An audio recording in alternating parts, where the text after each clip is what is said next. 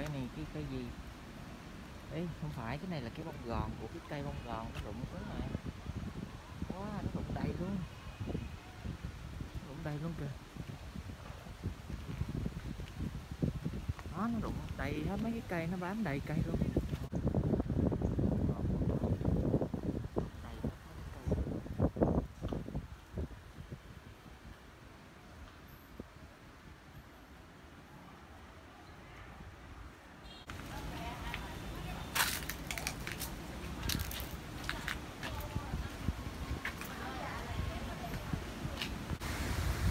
Wow, nó quá với trời cây to luôn.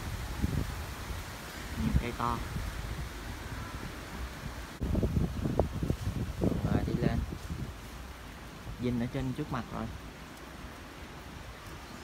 Đây, tới Bạch Dinh rồi.